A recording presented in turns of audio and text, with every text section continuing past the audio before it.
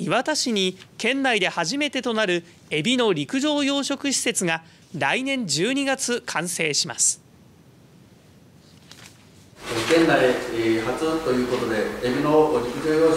施設建設がこれ同時発表ということで決まりました。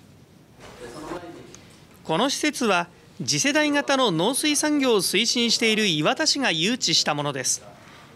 施設は関西電力と陸上養殖プラント開発会社 IMT エンジニアリングが設立した新会社が建設し事業を展開します。場所は磐田市の流用地区で車エビに匹敵する旨味を持つと言われるバナメイエビを養殖出荷します。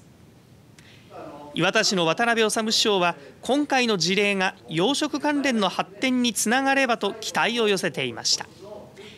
エビの陸上養殖施設は来年12月に完成し再来年1月の生産開始を目指します。